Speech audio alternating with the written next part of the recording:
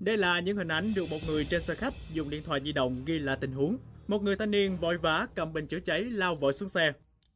Anh ta đưa chiếc bình chữa cháy cho hai thanh niên đang đứng bên lề đường. Thì ra chiếc xe máy của hai thanh niên này đang bốc cháy dữ dội. Họ nhanh chóng đón lấy chiếc bình chữa cháy. Thế nhưng người thanh niên này lại có vẻ lay hoay với chiếc bình. Hóa ra anh ta không hề biết cách mở chốt an toàn của bình chữa cháy để nó hoạt động. Trong khi đó, chiếc xe càng lúc càng bốc cháy dữ dội. Chuyện gì đã xảy ra?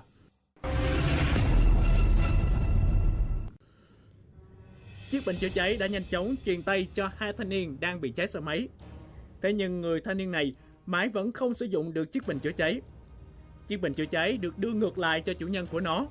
Người thanh niên này một lần nữa cố gắng vận hành chiếc bình, nhưng không thành công.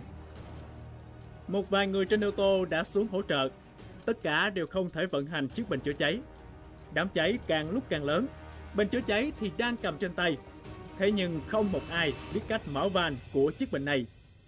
Cuối cùng người thanh niên đã dùng đến cách chữa cháy truyền thống là múc nước dưới ao để dập lửa. Nhưng tất cả mọi người đều bất lực nhìn chiếc xe máy cháy rụi.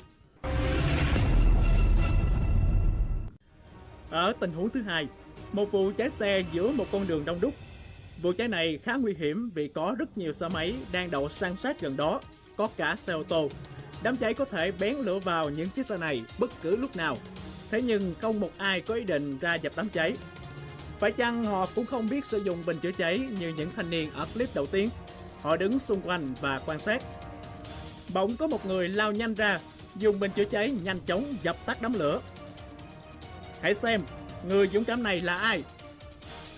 Thật bất ngờ, đó là một người phụ nữ. Và với chiếc bình chữa cháy trên tay, chưa đầy 5 giây, người phụ nữ dũng cảm đã hoàn toàn dập tắt đám cháy.